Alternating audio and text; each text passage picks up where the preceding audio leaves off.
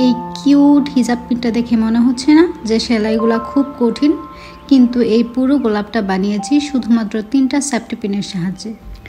আসসালামু আলাইকুম এভরিওয়ান। তো চলুন কীভাবে বানালাম সেটাই দেখে নিই। আমি একটি সাদা ভারী কাপড়ে করেছি, আপনারা চাইলে সুতি কাপড়ও নিতে পারেন। ফ্রেম সেট করে সেফটি পিনগুলো বসিয়ে নিব। এখানে আমি তিনটি সেফটি পিন বসাবো। উপরে দুইটা আর ঠিক তার বরাবর নিচে একটা। আর এক পাশ খালি রাখব। এবার আমি একটি সুতা নিয়ে সুতাটি আমি উপরে এক পাশে গেথে নিয়ে নিচ থেকে, যেখানে চার নাম্বার সেফটি পিন বসার কথা ছিল, ঠিক সেখানেই নিচ থেকে উপরে তুলে নিব। এবার সুচকে তিনটি সেফটি পিনের ভিতর থেকে ঘুরিয়ে আনব এবং বাম দিকে সুতার নিচ থেকে ডান দিকে সুতার উপরে এবং ডান দিকে সুতার নিচ থেকে বাম দিকে সুতার উপরে তুলব। একটু খেয়াল করে দেখলেই বুঝতে পারবেন কীভাবে করেছি। এখানে আমি ব্যবহার করেছি সুতি লাচ্ছি সুতা। এটাকে অনেকে অনেক নামেই বলে। আমি লাচ্ছি সুতা হিসেবে জানি।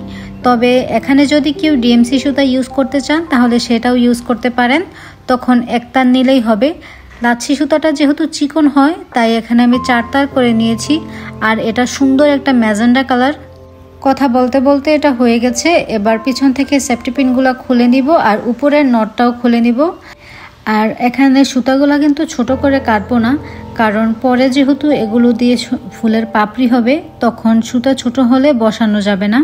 আমি এখানে দুইটা কালার ইউজ করেছি ডিপ ম্যাজেন্ডা আর বেবি পিঙ্ক ফুলের ভিতরটা থাকবে ম্যাজেন্ডা কালার আর বাইরের দিকটা থাকবে বেবি পিঙ্ক কালার। সেম প্রসেসে আমি এই কালার দিয়েও করে নিয়েছি। বোঝার সাপেক্ষে আমি এটাও করে দেখাচ্ছি। এখানে আমি দশ থেকে বারোটা করে নিয়েছি। আর আপনারা যদি ফুলটা বড় করতে চান, তাহলে পনেরো থেকে বিশটা করতে পারেন। আর যদি ছোট করতে চান, তাহলে আট থেকে দশটা করলেই হবে। আর এগুলার কোনো নির্দিষ্ট মাপ নাই। যতটুকু চান ততটুকু লম্বা করতে পারেন। এবার ম্যাজেন্টা কালারের একটা নিয়ে এক পাশে সুচ গেথে কাপড়ে বসিয়ে নিব। এবার নিচের সুতা থেকে সুচটা খুলে উপরে সুতাটা সুচে গেথে নিব। সুতাটা ঘুরিয়ে ঘুরিয়ে দিব যাতে ভিতরটা দেখতে কলির মতো লাগে। এবার আরেকটা ম্যাজেন্টা কালার নিয়ে আগের পাপড়ির ঠিক শেষ বরাবর গেথে নিব। এভাবেই একটার পর একটা দিয়ে করব। ম্যাজেন্টা কালার দেওয়ার শেষে পিঙ্ক কালারটা দিব। মাঝে মাঝে পাপড়িগুলো সুতা দিয়ে সিকিউর করে নিব, যাতে আলাদা আলাদা হয়ে না যায় বা আলগা আলগা হয়ে খুলে না যায়। কারণ ফুলটা যেহেতু কাপড়ে ডিরেক্ট সেলাই করা না, তাই এভাবে সিকিউর করে নিলে খুলে যাওয়ার চান্স একদমই থাকবে না।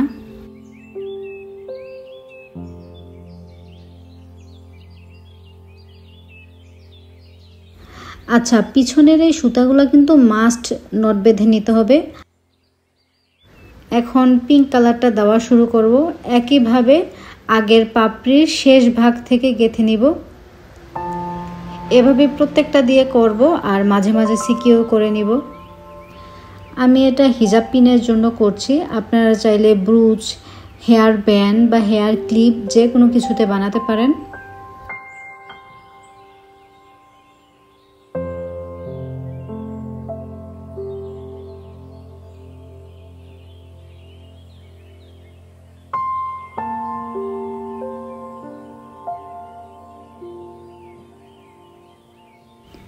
এই তো আমার ফুল কমপ্লিট পিনের জন্য আমার কাছে এই সাইজটাই ঠিক মতো লাগছে। ফুলটা আমার কাছে খালি খালি লাগছিল, তাই ভাবলাম দুইটা পাতা অ্যাড করি। তবে পাতা ছাড়াও ভালোই লাগবে, না চাইলে নাও দিতে পারেন। এই পাতাগুলা সেলাই করা খুবই সহজ, যে কেউ দেখলেই পারবে।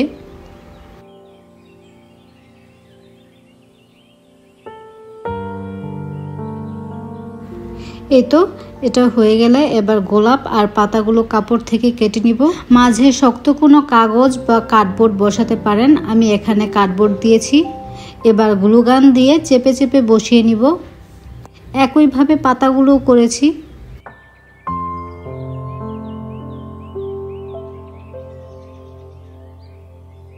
এবার পিনের উপরে গ্লুগান দিয়ে গোলাপটা বসিয়ে দিব।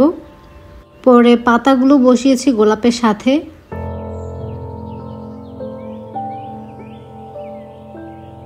এই তো আমার হিজাব পিন কমপ্লিট। কেমন লাগল অবশ্যই জানাবেন। ভালো লাগলে ফলো করে পাশেই থাকবেন। দেখা হবে অন্য কোনো ভিডিওতে আল্লাহ হাফেজ।